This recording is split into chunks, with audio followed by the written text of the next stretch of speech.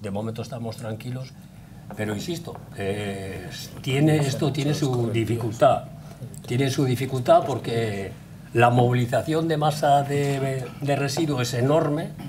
Eh, aquello pues ha cogido una nueva posición, una nueva posición que en muchos sitios pues consideramos que es bastante de riesgo e inestable y el agua no ayuda.